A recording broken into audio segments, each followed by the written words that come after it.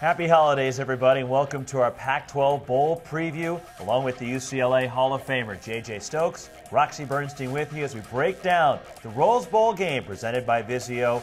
Monday, January 2nd, 2 o'clock kickoff from Pasadena. The Pac 12 champion Oregon Ducks against the Big Ten champion Wisconsin Badgers.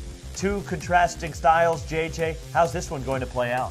You know, I like this game because both teams are exciting to watch. Both teams love to run the football, although both teams go about it in a different manner. You have Oregon that likes the up tempo, which keeps defenses off guard, and then you have Wisconsin who's just straight power running uh, football. I like Oregon because they have that up tempo offense and it puts defenses on the hill. And I think Wisconsin is no different, while I do think Wisconsin is an outstanding defense. I don't know if you're prepared to stay on the field and, and just run as Oregon does. So I think that's greatly appreciated. And Oregon's offense is just so dynamic when it comes to that. A lot of the analysts out there are talking about Wisconsin's power up front, their offensive line, and can Oregon deal with it? Well, Oregon handled themselves pretty well against the big, powerful offensive lines like Stanford has.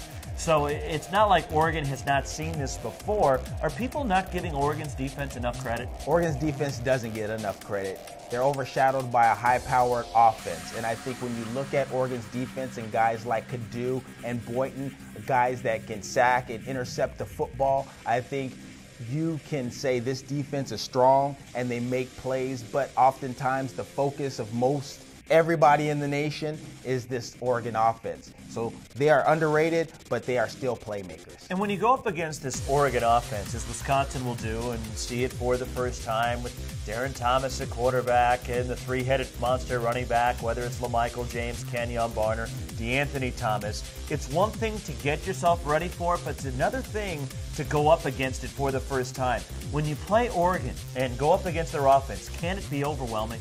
It, it can be, and that's one thing you can't simulate in practice. I mean, you can have guys pretend to be LaMichael James, Kenjon Barner, DeAnthony Thomas, but once you see the real thing, there's nothing like it. You have three-headed monster with speed and the ability to elude defenders, and there's nothing you can really do about it. So for Wisconsin, it's going to be a tough task, and I say there are far too many weapons for them to handle.